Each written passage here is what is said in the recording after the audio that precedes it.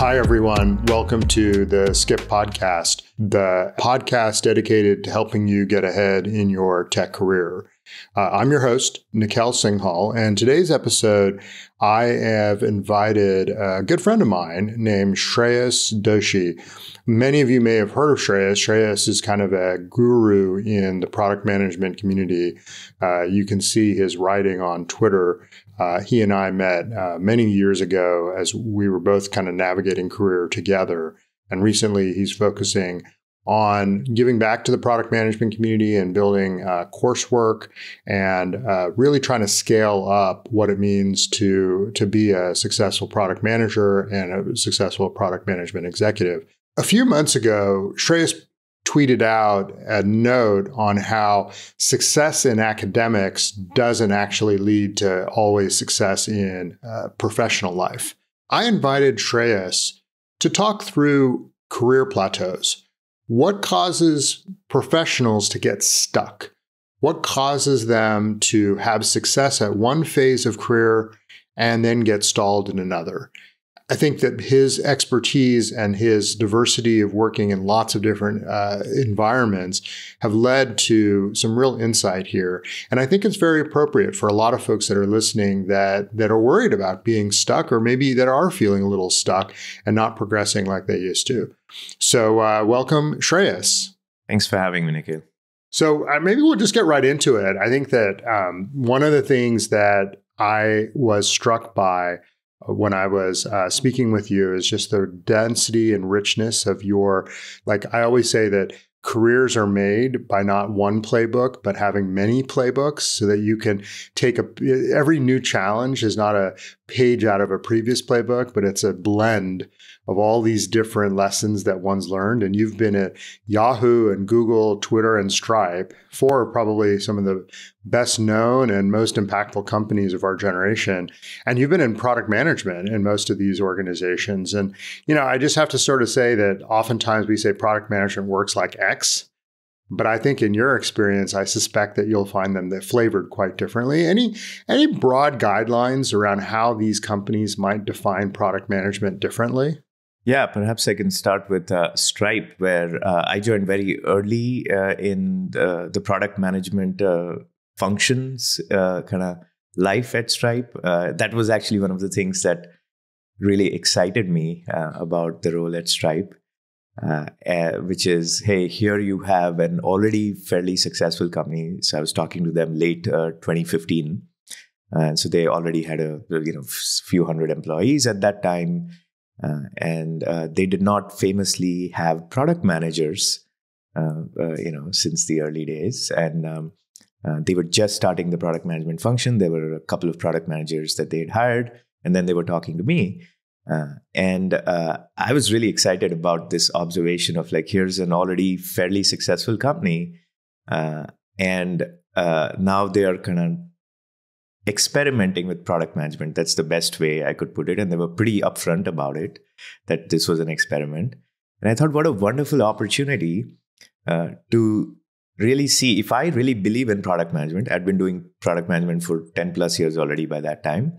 If I really believe in the value of product management, it, it's, it's such a great opportunity to kind of figure out if product management can add kind of singular value at a company that has already been fairly successful.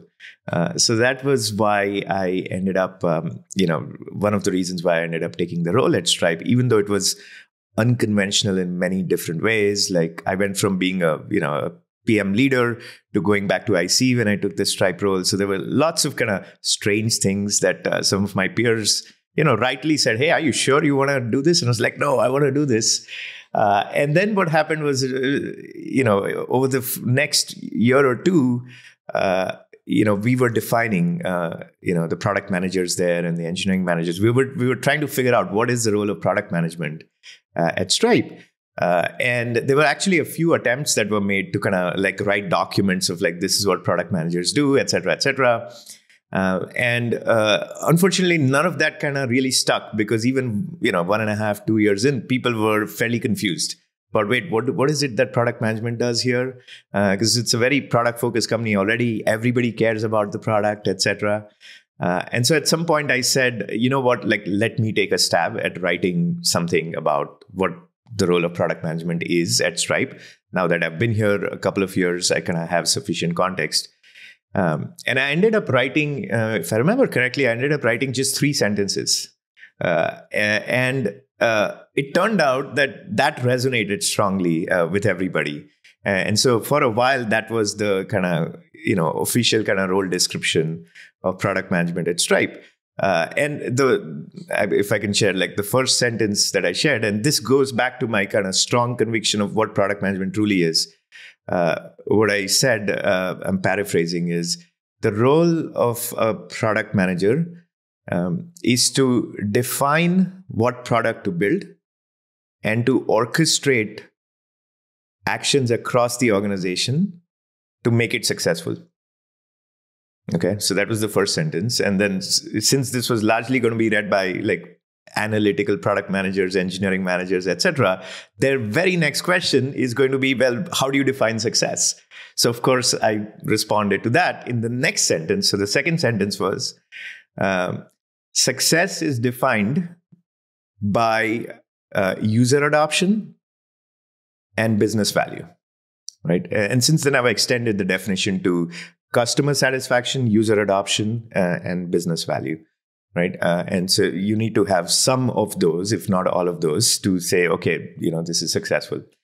Uh, and uh, that was pretty much it right? Like and uh, then I had an FAQ section of, uh, you know, you know, what is the role of an engineering manager in such a product-focused company and whatnot. Um, and uh, there was this very important recognition that I wanted to share, and this kind of like, you know, actually goes back to my experiences at these other companies as well, such as Twitter, Google, and Yahoo, uh, where a lot of the confusion and even the friction around the role of product management uh, comes in when uh, people are expecting completely mutually exclusive work, which is like, well, that work, that's product manager's job. And that type of work is not the product manager's job.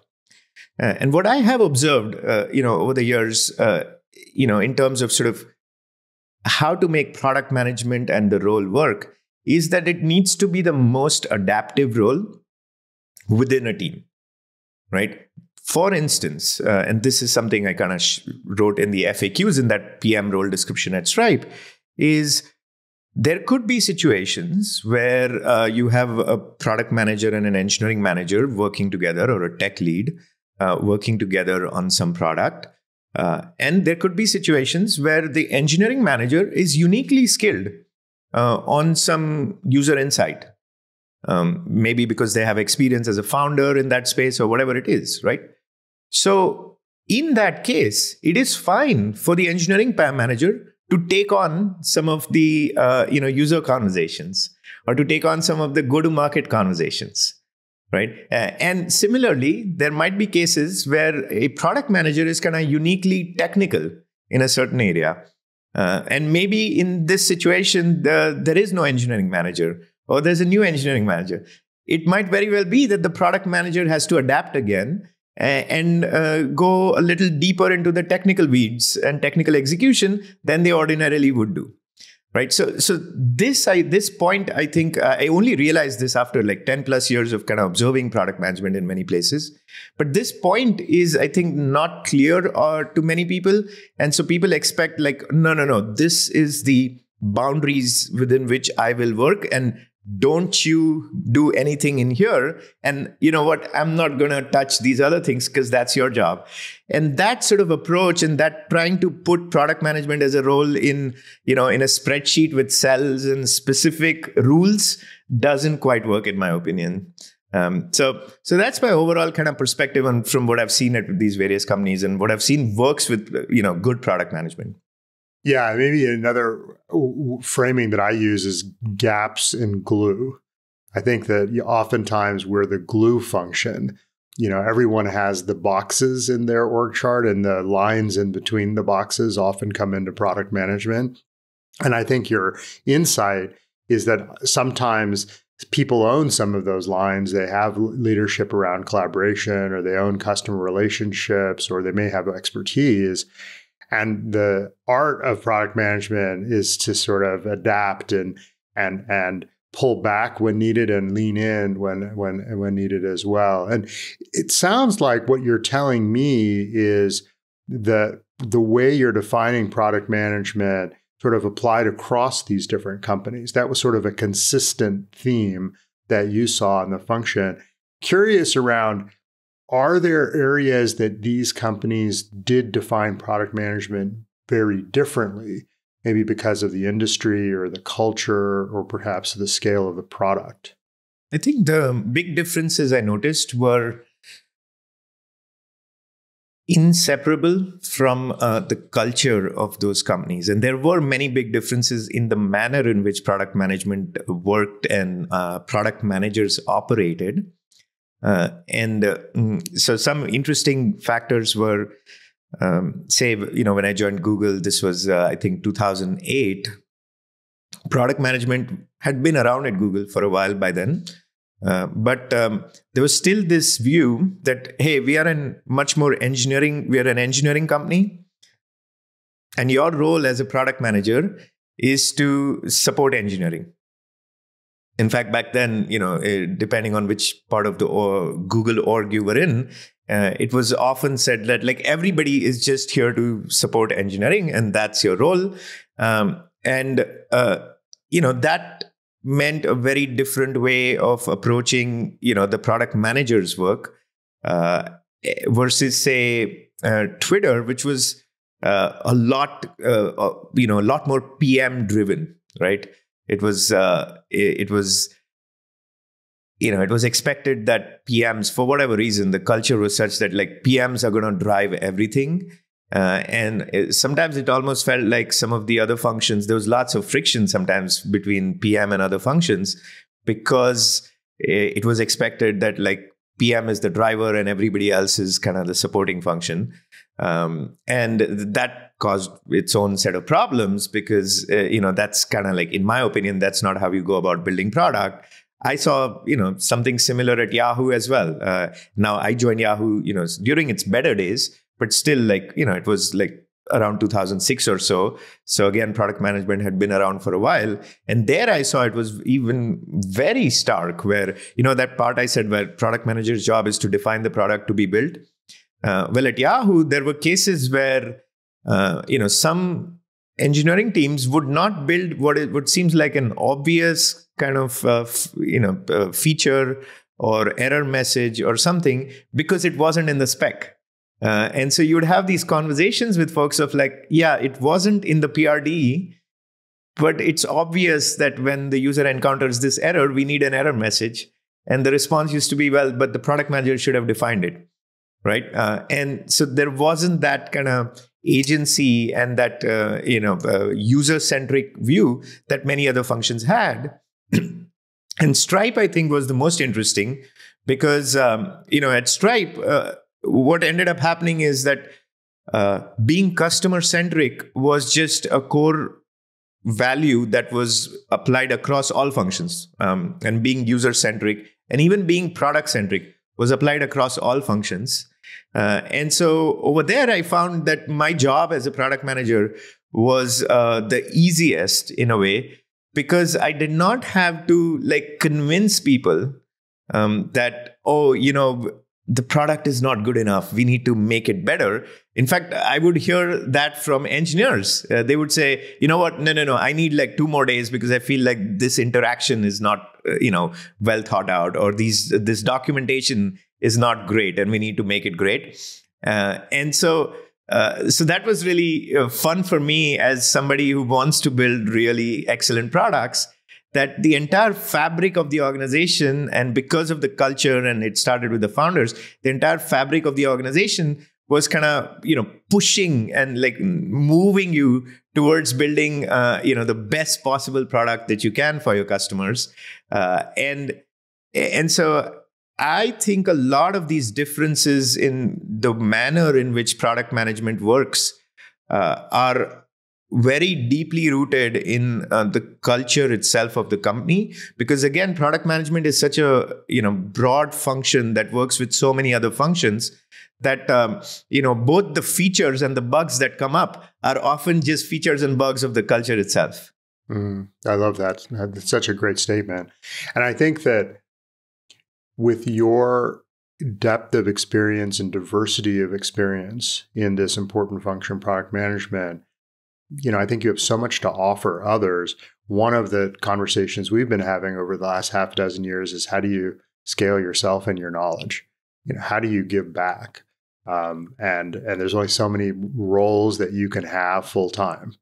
And I think that you know, looking even at your LinkedIn, there's probably now I don't know, maybe uh, a half dozen to a dozen uh, formal advisory roles that you've taken on. And and I think that a lot of our listeners that are in this sort of act 2 of career where they're leaders, they've had a lot of success, they, you know, want to do more than maybe their day job. They're asking this question around, you know, I I probably have knowledge that others would use. I, I'd love to be an advisor, but how does one go about doing that? How do what kind of what kind of talent are they looking for? Companies why would they need me? How do i plug in? You know all these questions. And i'm sure you faced those questions a half dozen years ago. You know how did you plug in to becoming an advisor? And what's that relationship like? And why has that been an investment for you? Yeah it's been such a such a fun journey for me in this kind of uh, this chapter of my career where uh, i have at this point uh, you know advised meaningfully advised more than a hundred companies. A lot of most of the advising work i do is uh, informal advising. Um, and and then there are some kind of formal advising arrangements that i also have where i work with uh, founders on a longer term basis whether it's six months 12 months or even longer sometimes. And um, a couple of uh, observations from my own journey. Um, you know, I started uh, getting this. I did not plan for this necessarily, uh, but I started getting into this because, uh, you know, while I was at Stripe, there were companies reaching out to me for, you know, leadership opportunities, as they do, I'm sure, to, uh, you know, many of your listeners as well. Uh, and, you know, for whatever reason, if the timing wasn't right, um, uh, you know, my the previous mode I took earlier in my career was just to say, well, the timing isn't right. So, you know, let's talk again later.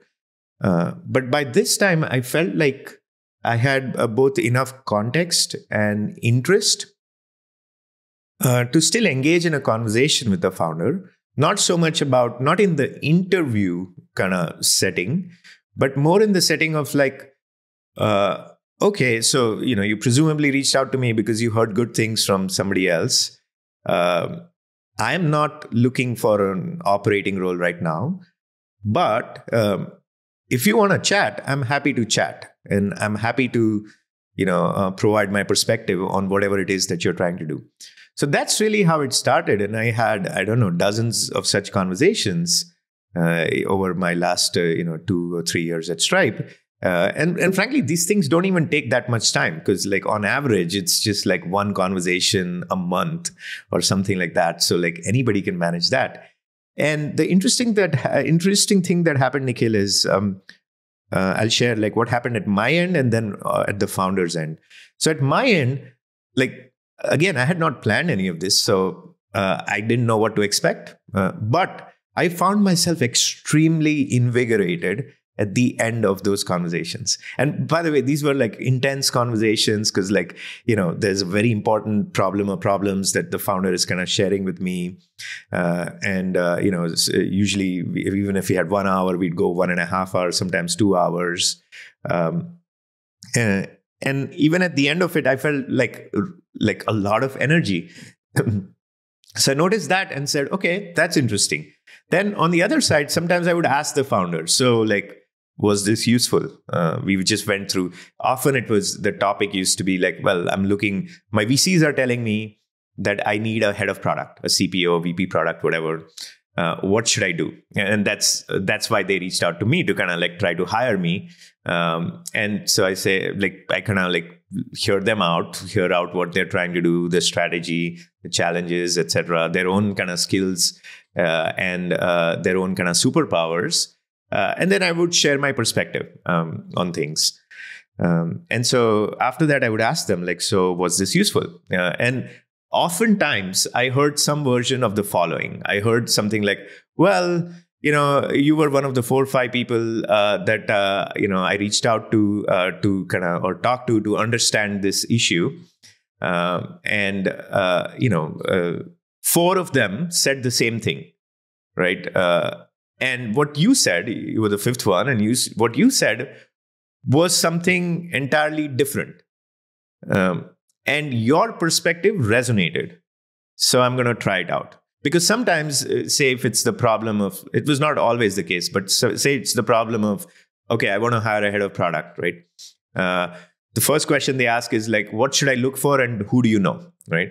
And so i would often tell them like that's the wrong place to start right? It's like what are you really trying to do etc like you know you go through that kind of like you know intense inquiry of like what are we trying to really do here uh, so as so that we can set this person up for success. And sometimes the conclusion that the founder would reach is actually i should not be hiring a cpo right now. You know i should go hire a kind of like a you know um, a mid-level experience pm uh, and i should continue to do a lot of the product work uh, and i should delegate certain aspects. So that kind of this is a very important decision right? Like and so like helping founders through this decision uh, which like again like my job is not to tell them what to do. My job is to help them figure out what the right thing is to do for them. Uh, i heard often enough that like oh you know your perspective was different and it resonated and so that's when i started thinking well if i am deriving so much energy from this and if my perspective is uniquely useful then maybe there's something here right? So that's that was kind of like the genesis of this. Uh, and then over time, I just, you know, I was just, I, I kept, and when I, after I left Stripe, I kept myself open to, yes, if, you know, I, I'm happy to talk to energetic, smart, talented founders uh, with no kind of expectation of any kind of formal advisory relationship. Um, and sometimes I would get on one or two calls, sometimes three calls with them. And in some of those cases, they would say, you know what, I want to continue this. I want to continue this. Uh, and that's how you know some of my formal advisory work started was merely as a result of founders wanting to continue that and uh, my desire to want to continue working with the founder because i thought they were great that's so helpful there's so many nuggets in there i mean what i'm hearing is there was always opportunities because you're always getting unsolicited inbound and so you started paying attention to that and when you have those early conversations, you observe two things. One was how what was your energy levels after the conversation concluded? And you noticed that this was something that excited you, which then meant you were naturally gravitated to prioritize and invest more. And then the second is you got good feedback that you were saying something that you were clearly authentic and passionate about and you had insight that others had had really valued and the combination was enough to lean in but you didn't start with i this 2023 i want five mm-hmm. advisory roles and i'm going to run a process to find those you simply said can i help companies and enjoy it along the way and if one thing led to another and the company started to attach there was naturally some organic relationship that would follow because you wouldn't want it to stop on either side. But if it turned out that after a couple of conversations, it was enough that you either didn't have enough follow through or you had solved the tactical problem, well, then it wouldn't make sense to be an advisor anyway, and you part as friends, and perhaps that leads to another future advisory role. And so that looseness approach, but opening yourself up to opportunity is what I'm hearing. And I think it's great advice for folks that do find themselves this year maybe being a bit more constrained in their day job, maybe because the role is shrunk or the company's not growing as much, but there's so much activity in the industry and there's so much inbound. Take advantage of that to see if you can spark some desire and find some unique insights. So I, I really love that point. I also noticed that I just got better as I had these conversations, right? Like, you know, the first 10 advisory conversations I had, uh, uh, you know, I wasn't as effective and as useful as the last 10 I've had. And that this kind of seems obvious, of, you know, because you, if you do something long enough, you'd improve. But my point is that perhaps you know early on i wasn't quite yet even ready to kind of like start an advising business right? Like i just noticed the quality of questions i ask now is so much better than the quality of questions i used to ask uh, you know the first 10 or 20 or 50 times i did it. Uh, and ultimately you know as an advisor uh, there is insight obviously and i share insight but the greatest value i can add is through the questions I ask you. And I will now uh, often ask you just like three to four questions. And in many cases, it like just the questions and the prompts and the follow up questions and the discussion you as a founder will end up with an like and i've heard this often um, you know that like oh i've been working on this for three or four years I spent an hour with you and I ended up with a completely different perspective on this thing I've been working on for the last three, four years. And I look back and say, like, hey, what did I do? Like, I actually didn't do much other than just ask you the right three, four, five, six questions uh, and prompted you and nudged you and then you reached the the whatever conclusion that you were looking for on your own right? Like i did like i don't know about 50 different domains that i can give you domain specific expertise. Uh, it's for you to figure that out but it's the quality of the questions. And so I, I do think it's important to understand that if we start approaching something from a like i want to you know start a business or i want to start a practice here um, we might actually lose out on that kind of like necessary uh, you know early stage uh, experience that we need such that we can actually build a, a, very sustainable and a differentiated practice in these areas. Yeah i think those questions are one of your many superpowers. And i think i would say concise wisdom is maybe another way. And you truly have embodied uh, art when i look at your twitter uh, content because I've always struggled with communicating the concepts and the frameworks that I've been building around leadership or career or product management into short form content. And you've managed to do it in that 140 characters. I think that uh, for those of you that are listening that aren't following Shreyas on his Twitter feed, you're really missing out because you get these questions, you get these insights, you get these clear uh, where he's different from the the tribe. The, those those insights have been incredibly helpful to me to just sometimes just have vocabulary to frame something that's sort of ruminating, but to have the words and to name it is so powerful. And the combination of that and your small group super follower community, I think has been really insightful. But I think you're mm-hmm. onto something new lately, is what I understand. You're you're I think maybe you're you, you're a teacher by trade, but you've been scaling up not only your content but your your teaching. And I I don't know much about it, but I read these highest ROI that I've ever spent on a weekend, accelerated my product management career. So tell me a little bit more about what you've been up to and, and are, are you effectively now teaching a course or how does that work? Yeah, that's been um, a really fun experience. And I just started doing this about four or four or five months ago. Um, and the way it started uh, is uh, as I was kind of, you know, after I left, left Stripe, this was in May 2021, um, uh, I decided for the first time in my career to take some time to figure out what's next. I talked to a lot of uh, people. Uh, I think I, you and I spoke as well about sort of like what's next and how to think about all of that. Uh, and I had just kept an open mind that, like, oh, you know, I'm going to start writing a little more because now I have more time and I have now a followership on Twitter and LinkedIn. Uh, and then I was I'm going to continue doing more of my advising work, uh, you know, which kind of again started while I was still at Stripe. Uh, so I'm going to start, uh, you know, doing more of those things.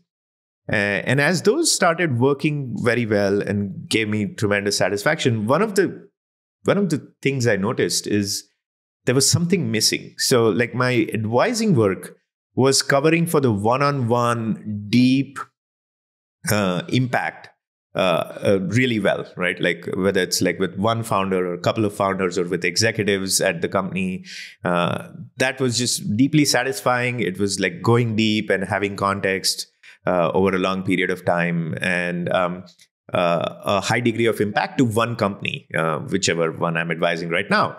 Okay, so that was taken care of, the one on one. Then I had the writing, uh, which by that time was now reaching hundreds of thousands of people. Um, so, so I had the one to hundreds of thousands also covered.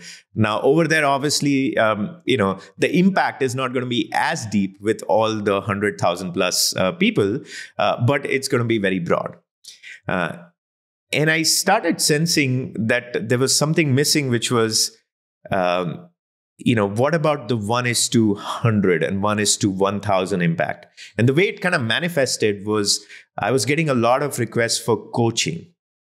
Uh, and I did not want to kind of start a conventional coaching practice uh, because I was already, already doing the deep advising work. Uh, and I felt like you know if i also start doing coaching then you know i'm just not going to be as effective with the deep kind of strategy go to market culture advising that i do with startups.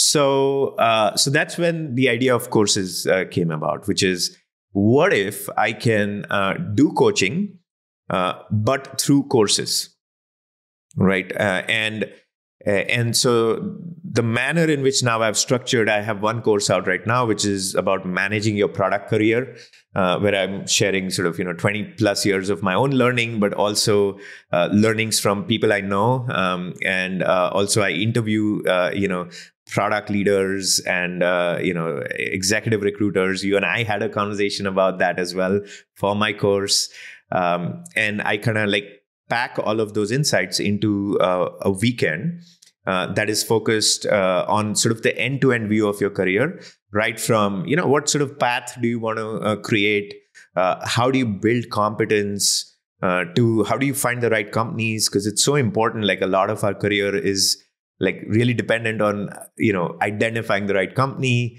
how to get hired how to negotiate comp and like how to evaluate offers that's another area where I've seen people make so many mistakes uh, where you did everything right up to this point, but now, you know, you had three offers and you ended up picking the wrong one, right? Like in hindsight, the wrong one. So is there a way to figure out like which is the right offer for you in a way that you minimize mistakes? Uh, to sort of like how do you then get recognition within your company? How do you grow within your company? How do you get promoted?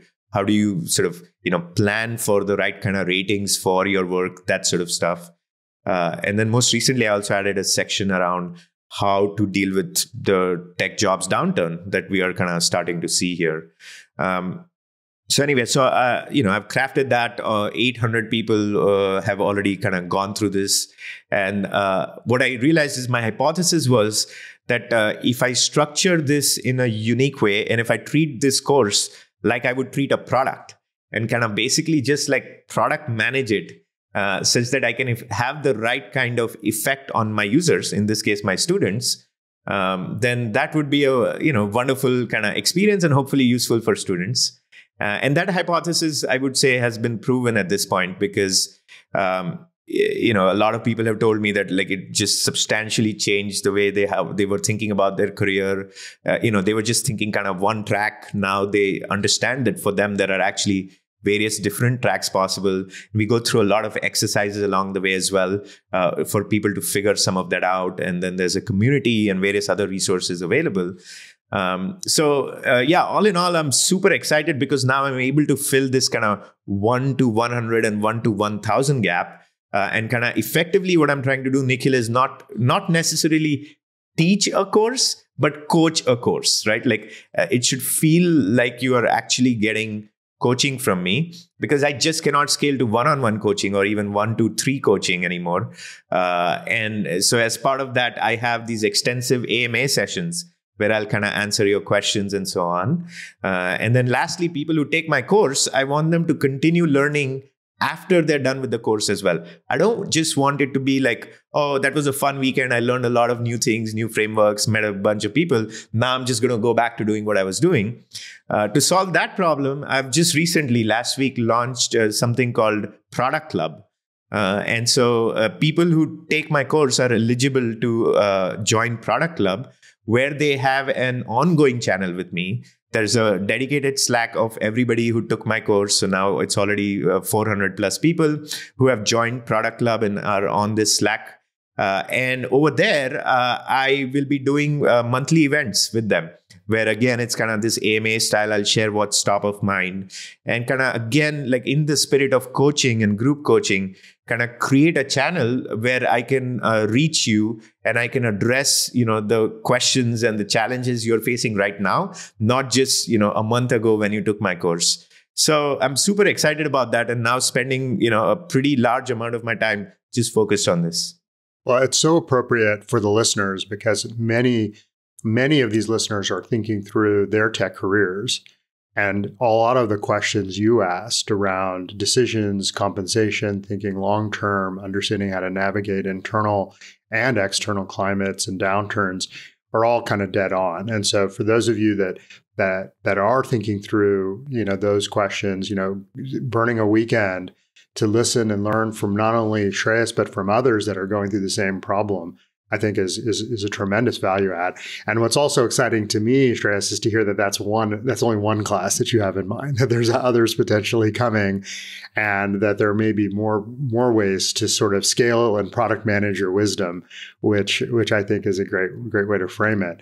You know, along those lines, and along this sort of maybe pivoting a little bit to a tweet that caught my eye in July that had, you know, a lot of the characteristics of this ability to very concisely put language around something that I had been observing for decades. You know, and for decades, you know, looking at people that have had tremendous success and strength in academics. You know, you and I both are surrounded with folks in our industry who, you know, were at the top of their class from a, his prestigious university or set of universities and had all the makings of just you know success in every way shape or form. And what you find is they don't necessarily struggle on a consistent basis but they're just inconsistent. There's almost no connection with their success uh, 15 years later and their academic success. Some did incredibly well. Some never found their footing and some were in between.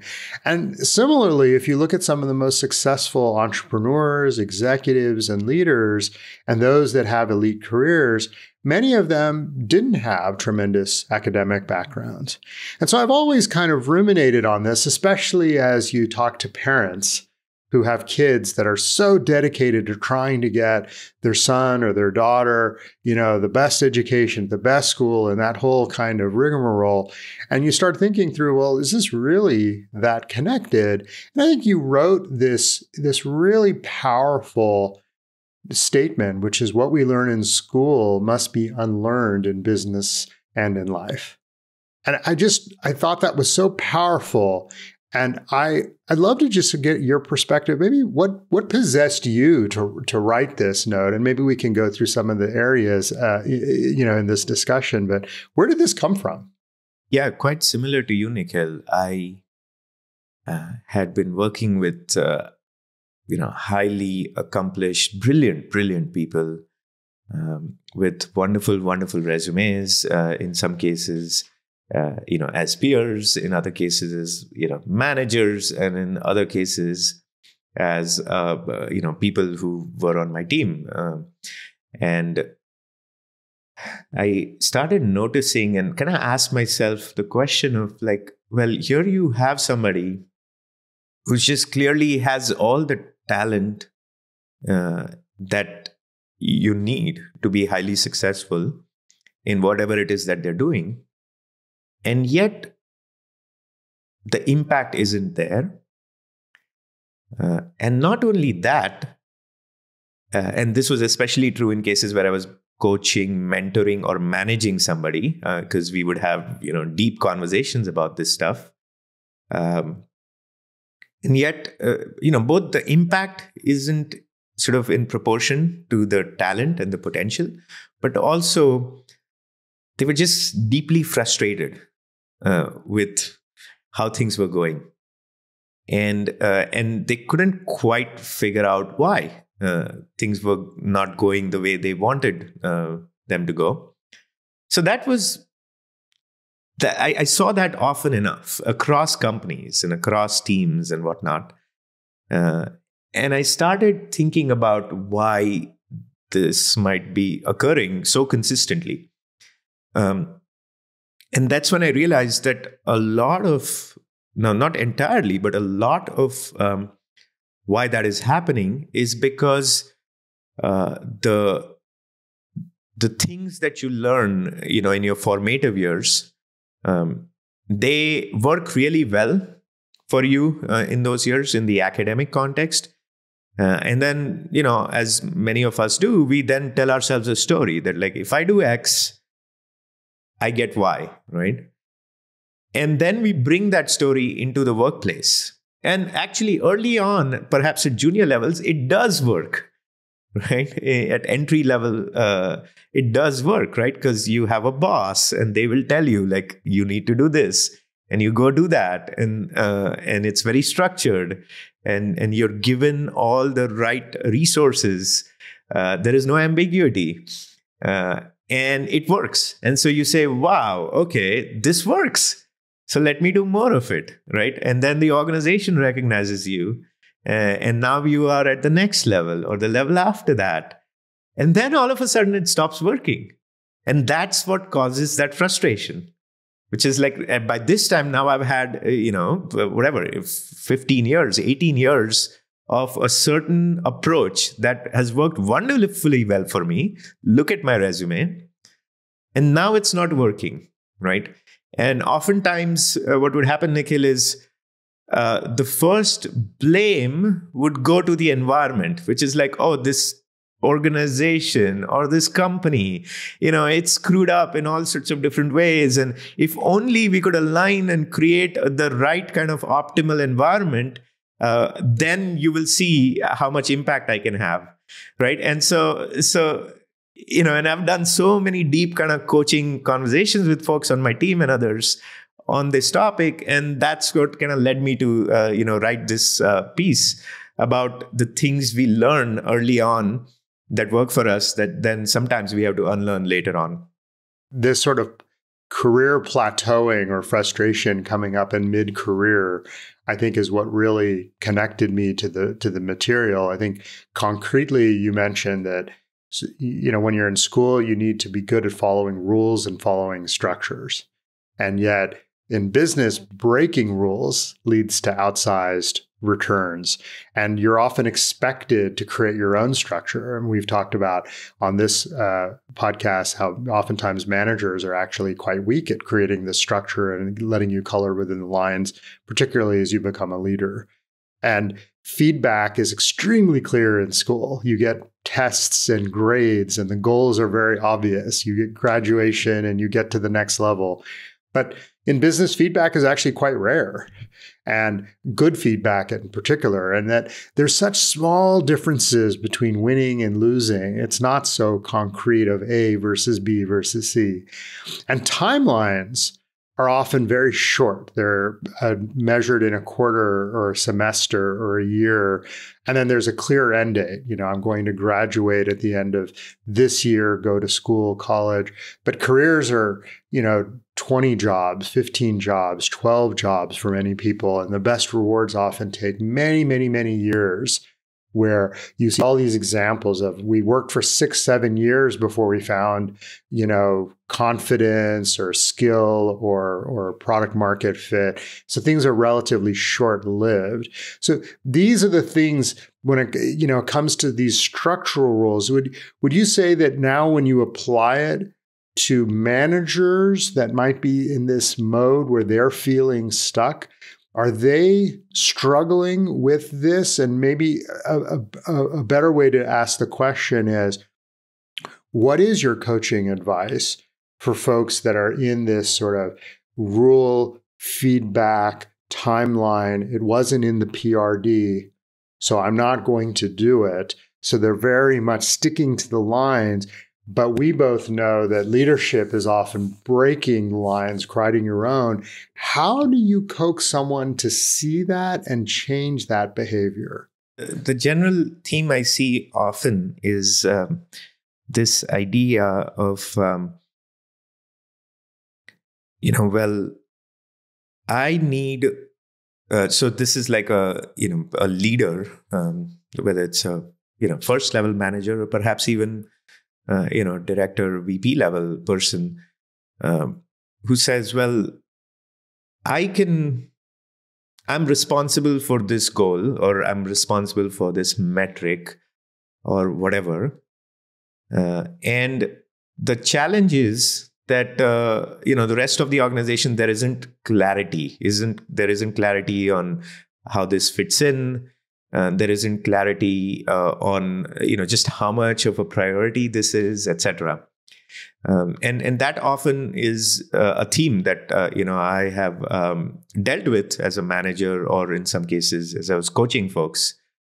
Um, and my approach is to help them realize through a series of questions that effectively this is why you have this role right is like you know your number one job is to create clarity in an environment that is extremely noisy is extremely complex and is by definition ambiguous right? So so your job shifts from you know just kind of uh, through sheer will and sheer discipline just getting things done because that's what you gets you promoted early on. That's what gets you good grades right? Like there's a rubric uh, you know the, the teacher or the professor publishes the rubric and then you follow the rubric uh, and voila you know you get the a grade.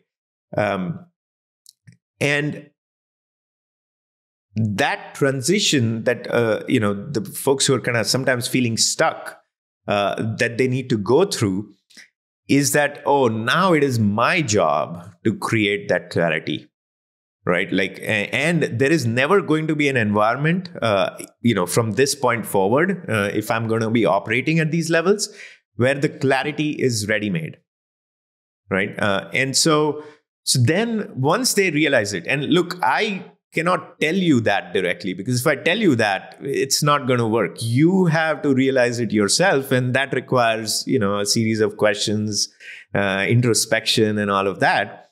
But once you reach that point, now we are having a very different conversation, right? We are having the conversation of okay so so now how much uh, you know how much responsibility are you going to take to tell uh, the CEO that this is what needs to happen, right? Uh, how much responsibility are you going to take to tell your cross functional peers uh, that here's where we are headed? Uh, and and then then we can start talking about okay now how do you communicate it what are the tactics and the techniques and the process that you use to communicate all of this uh, across your organization in a way that uh, the efforts are cohesive uh, and and people are motivated and all of that right? Uh, and so oftentimes you know people kind of jump directly to this uh, which is like oftentimes you know a lot of times what happens is people people encounter a problem and they jump directly to how do i do this? Right? Um, whereas like uh, sometimes i have to help them understand like first let's understand what is your role and what it is that even needs to be done and when we can figure that out and it's the correct thing, the how actually writes itself. And I can help you with that. But you know, the, we can get to the how, but we first need to understand what your role is in all of this. And folks who cannot make this transition, uh, they kind of feel stuck in their careers. And oftentimes, their uh, you know the executive team, uh, the CEO, is also frustrated that here you have somebody with great potential uh, but they are not quite you know creating the clarity i need. Uh, they're not quite creating the clarity for their area uh, that uh, will move things forward.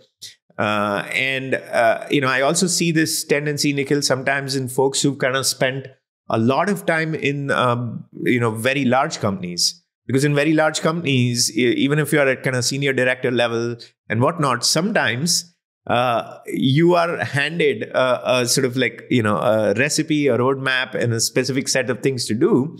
If you've been doing that for many many years uh, and now you're going to a startup uh, you're now all of a sudden going to be confused because there isn't that you know clear charter uh, that you've been given.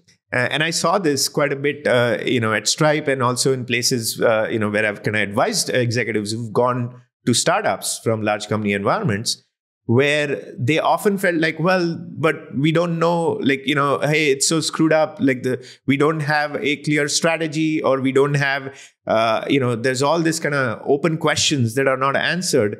And then i have to help them understand yeah it's your job to uh, create that clarity to help answer those questions such that you can have that cohesive execution the things that come to mind when I hear you describe this is mindset and courage.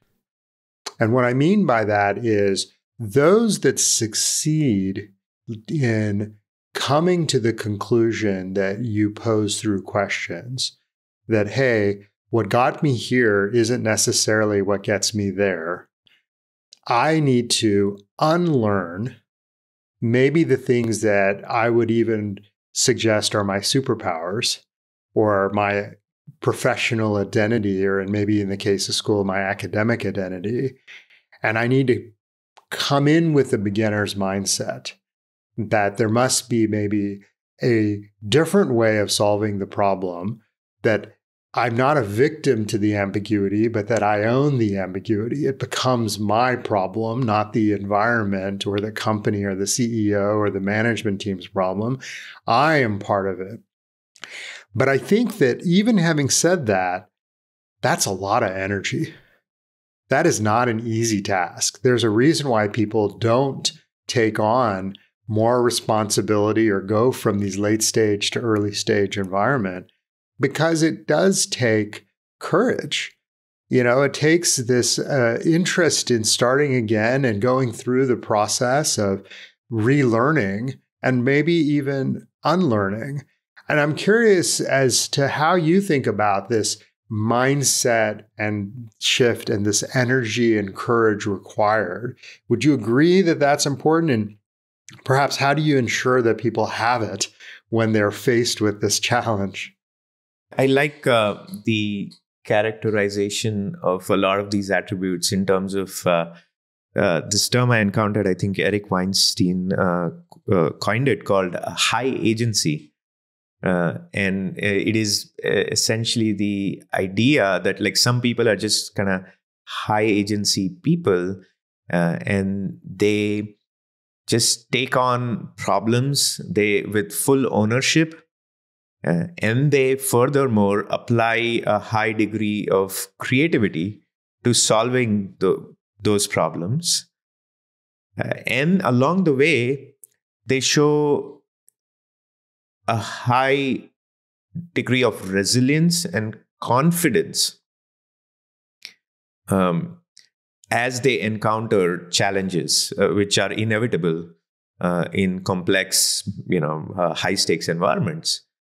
Uh, and so that combination of uh, you know resilience and confidence and ownership mindset and uh, the creativity and then lastly influential communication. So those five things when we put together you get this you know idea of high agency um, and I think that is again one of the key things I've noticed that um, you know once you go from you know doing a job really well to needing to lead a job uh, that needs to be done well to needing to lead uh, many many jobs that need to be done really well that high agency is the big differentiator eh, eh, between sort of like you know good and ordinary and good careers uh, and really great careers and great impact um, and I do believe that uh, this is something that uh, can be cultivated. Um, you know, now any kind of world class levels of any of these things, a lot of it is kind of you know inborn, like sort of traits, etc. But just because you know uh, certain things like some people are just naturally great communicators right? Like they did not have to do much. It seems effortless right?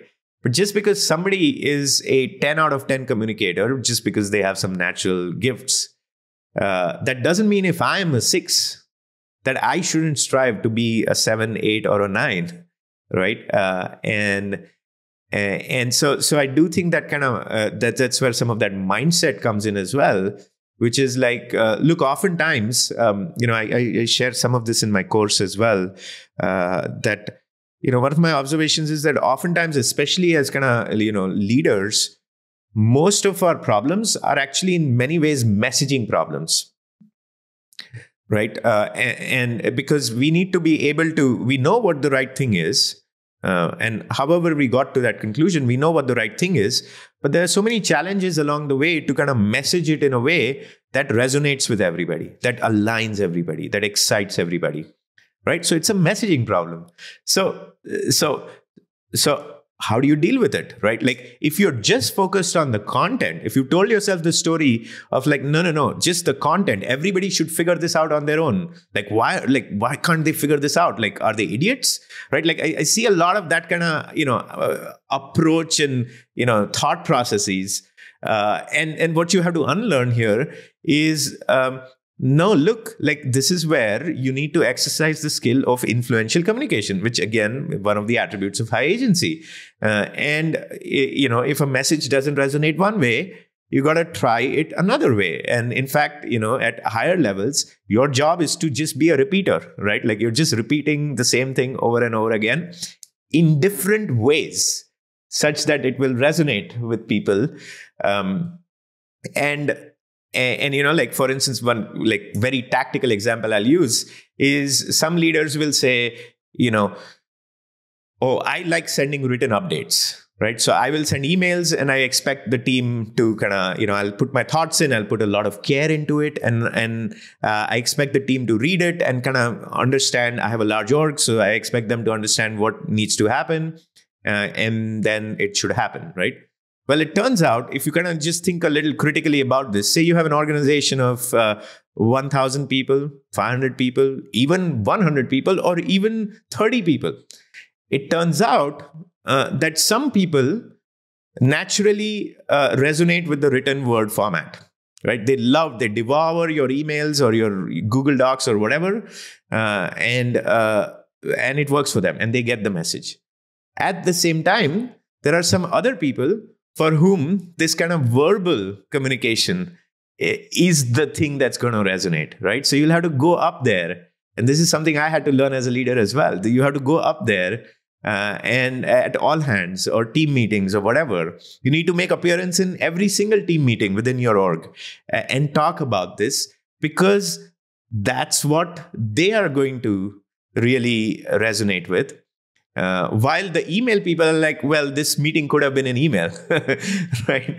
Uh, and and then in some cases, uh, some people are highly visual, and so if there is a vision you want to convey, you might even have to create some you know inspiring prototypes and inspiring mock-ups you know and even though it's very early stage you might even have to do that because the words you know for some people just reading the words is not enough right? Like they need to see how it's going to manifest. And the the moment they see that manifestation they are like aha now i get it right? I did not get the email. I did not get the google doc. I did not even get the all hands where we talked about this but i got the marks right? Or i got the customer story right? So so this is an example of something where i find that like people need to kind of you know change the mindset of like now it's no longer about you know what medium you prefer or what is your superpower. It's about figuring out what works for your organization uh, and then influentially communicating uh, in variety of different ways. So this is just one example but this is the kind of thing um, that uh, takes some leaders a really long time to sort of like you know come to terms with it's that last thing that I think is probably the other piece that I'd want us to emphasize for those listeners that are feeling like they're plateauing.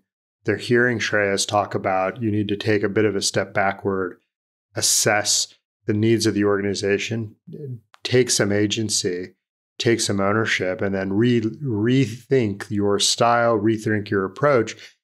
The fact is that these things take time. They are not going to happen overnight. And why that's an important statement is in the past, you might have been promoted every year. You might have been a straight A student. You might have found things come easy because the way that you think is the same way that others expect. But now your organization's larger. The tools need to be more diverse. You have to own the ambiguity as opposed to be shielded from it. And so it's not unusual for uh, for me to see people who have had very fast starts to careers, quote unquote, hit a bit of a wall when they get to management, when they get to even executive. And that hit the wall might be them just working through the pain of relearning themselves, relearning their technique. And then they unstick. And then they start moving quickly forward. And so you have to have that courage, that patience, and that optimism that you maybe are a six today, but when you're an eight, you, things will unlock. But I think if your mindset is that this, I must be doing something wrong because I, or the environment must be wrong because I was moving so quick in the past, perhaps it's exactly the opposite. So, Shreyas, as we conclude, I'd love to just maybe get a, a, last few words from you on any additional advice you have for those that are listening that really feel like they're stuck a bit and that they're hearing your words, they're understanding they need to go through this, but any beyond maybe taking your class, any other ideas that might help them as they approach this sort of unsticking themselves from this sort of uh, spot they're in? The main thing I, I would suggest uh, that folks consider is that there are many more options available to you than meets the eye. Uh, because I think uh, we we do have I see especially in highly high talent, fast paced organizations, which naturally then like sort of you know there are many ambitious people in these companies um, and a lot of times, Nikhyl, I see um, people are just focused on the conventional path, which is like, okay, I'm at L8, the next is L9, and uh, the one after that uh, is going to take me two more years or three more years. And that is a viable path for sure. Uh, but uh, it is not for everybody. Uh, and I think people, there is this kind of some almost stigma around, um, you know, oh, if you are ambitious, but if you are not VP by this time, that means, you know, something's wrong with you or you failed or whatever. Um, and it turns out that like that's why there are many people who reach the VP stage or the CPO stage and they kind of hate it because that was not the authentic path for them. Right? Uh, or maybe they should have explored a few other things before uh, you know they they tried to go for the CPO role or whatever that is. And so I think a lot of people just kind of miss that and it's almost it's sometimes i feel like it's it's like uh, you know a video game which is like okay the point of a video game is to get to the next level. Uh, and if i do these things i get to the next level. But it's kind of like you need to understand what awaits you at that next level. Uh, you need to understand if um, you know you have the right skill set uh, you know just because uh, you know just because the next level exists uh, doesn't mean that that has to be your only goal.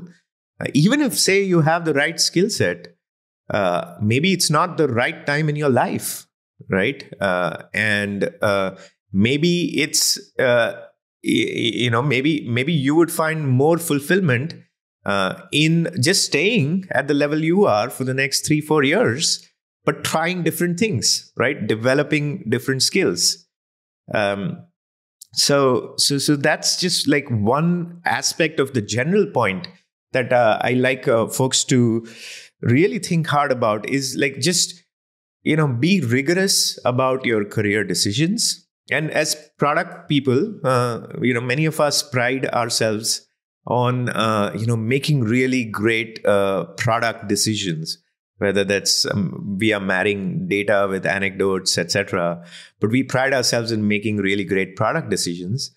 Well like you, we should be applying uh, that same degree of rigor that same degree of thoughtfulness to the most to what i would argue is the most important product which is ourselves right? Uh, and and you know i'll share a concrete example. Sometimes for instance here's how this manifests where you know folks feel like they have the right idea but they don't. And then they make inauthentic choices.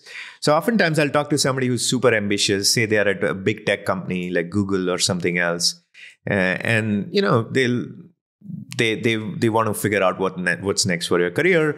Uh, naturally the topic uh, sometimes the topic uh, that they bring up is like well actually you know, three years from now, four years from now, or a couple of years from now, I expect to, that I I should be founding a company. Uh, I want to do a venture back startup. That's something I've always dreamed of, uh, and I, I, think I'm going to be ready, life wise, etc., to do that a couple of years from now. Okay, great. Uh, so then we start talking about okay, what's next? And so then they'd say, okay, in order to do that, the next thing I need to do is I need to, uh, you know, become VP. Okay. And so I asked them, like, okay, help me understand, you know, what your rationale is. And it often boils down to like two things, uh, one of two things. Uh, one is, oh, that way I'll manage larger scope. I'll know how to manage. Uh, I'll, I'll maybe own P&L. I'll know how to manage the company, manage people, manage organizations, and that's a useful skill, obviously, as a founder. Uh, so that's one version I hear, and the other version I hear is, oh, it, it might give me more credibility with VCs and whatever else. That's roughly the two reasons I hear. And then, like, I have to point out that, like, you know, your number one job as a founder of an early stage venture backed startup is not to manage an org, right? It's to build a product that resonates highly such that you reach this kind of product market fit right? Because without that, your org building skills or your org management skills are kind of useless, right? And let's face the reality that most startups never make it to that point, right? So, just logically, if we were to really deeply logically think about this and uh, like rationally do it without putting emotion into it and without having kind of LinkedIn envy, uh, like just if we look at it rationally, it makes more sense for you for over the next two years to figure out what skills you need to develop, what product skills you need to develop, right? Uh, what design skills you need to develop, or what domain skills you need to develop, such that you maximize the odds that your startup hits product market fit. Right? Nothing else matters until then. And if there are gaps there, let's go fill that gap right? And that might actually mean not going for that VP promotion because as a VP, you're not going to get to exercise a lot of these skills that we are talking about because there are other people in your team that are going to be doing that, right? It might even make sense depending on your situation that you go back to an IC role, right? For an early stage kind of initiative that you take forward. Uh, or it might even mean something else where you take a role which is not all that time consuming so that you can kind of incubate your new venture, um, you know, on weekends or in uh, in evenings uh, as you kind of embark on this, right? So again, there is no one right answer for everybody, but this is an example where I think most people assume that like, oh, this thing is the right answer for me, but uh, you know, we've just got to think critically about it and we've got a like my i would encourage you to kind of a lot of these things happen because the ego comes into play right? Like we want that vp title and then we rationalize that desire with through some logical explanation. And so we we really have to kind of like you know uh, look at that a little more closely uh, and uh, objectively. Uh, and you know the ego is there but like try to at least you know see that the ego is playing a role here have the courage to find your own path recognize that the path that a company's laid out isn't necessarily the career path for you and and I think embrace the opposite of conventional wisdom whether it's strength in academics don't lead to professional success or getting that VP may be the exact opposite thing to become a great founder, or perhaps even to drive fulfillment and career maximization. And I think that a lot of the courage is to find your own path, to reinvent oneself, to take that step backwards and and have that beginner mindset for your own career, which is you know ultimately your most important product. So Shreyas, thank you for joining me today. Uh, for those people that are listening that want to get in touch with you, what's the best way to do that? We'll obviously put it in our show notes, a few critical links, but how, how do you want people to find you? So I'm on Twitter and on LinkedIn. Uh, so feel free to follow uh, me on either of those platforms. Feel free to uh, you know message me my dms are open uh, i cannot answer every single dm but i try uh, so uh, would love to continue this dialogue well, thank you for joining, and uh, and and we are more than excited to have you back for a future episode. Thanks for having me, Nikhyl. This was a blast.